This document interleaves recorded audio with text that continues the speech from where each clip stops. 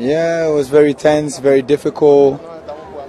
We're very happy to be here. Um, I'm very proud.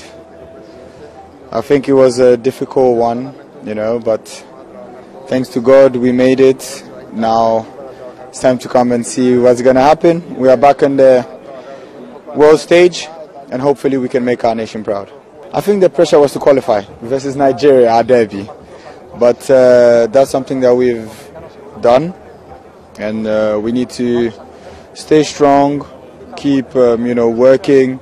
There's a lot of work to be done, but I'm very proud to represent our continent. The team had very bad out at point.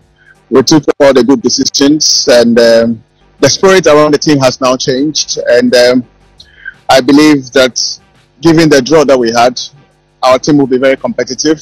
Um, obviously, there are certain decisions that we need to make to set the ball rolling. But Portugal, yes. Uruguay, yes. Uh, uh, Korea Republic will make it.